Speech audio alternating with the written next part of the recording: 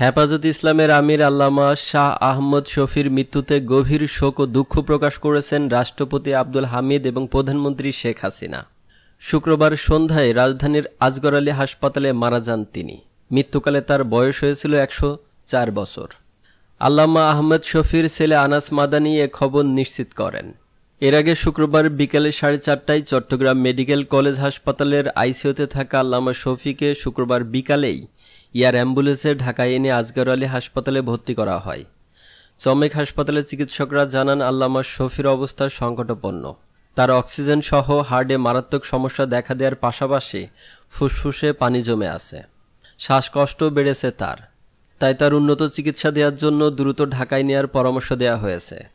ছাত্র বিক্ষোভের মুখে মাদ্রাসায় দায়িত্ব থেকে অব্যাহত নেওয়ার পর বৃহস্পতিবার রাত বারোটার দিকে ফায়ার সার্ভিসের একটি অ্যাম্বুলেন্সে করে আল্লামা আহমেদ শফিকে চট্টগ্রাম মেডিকেল কলেজ হাসপাতালে নেওয়া হয়।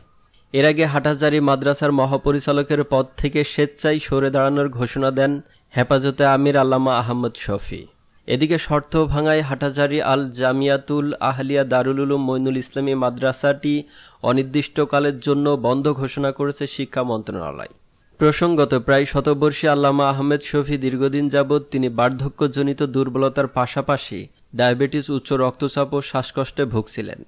তার মৃত্যুতে মাননীয় প্রধানমন্ত্রী গভীর শোক এবং দুঃখ প্রকাশ করেছে।